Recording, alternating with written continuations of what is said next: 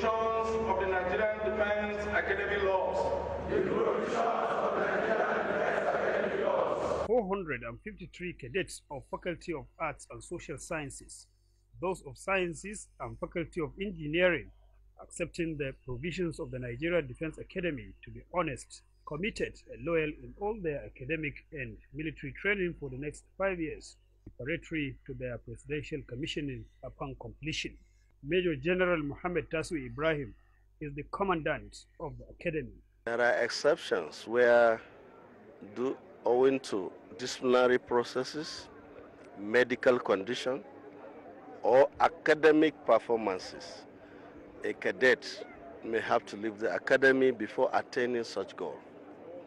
So our expectation is that whoever is here as a cadet will eventually make it to becoming an officer of the armed forces.